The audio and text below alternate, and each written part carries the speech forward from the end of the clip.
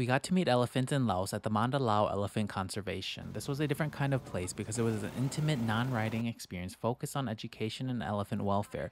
Their goal is to spread and promote increasingly humane and ethical treatment of elephants across Laos and beyond. On the tour, we got to walk alongside the giants and just observe them on the hike. They are located 30 minutes outside of Luang Prabang and even have the farm to table restaurant after you hike. What other places should I visit in Laos?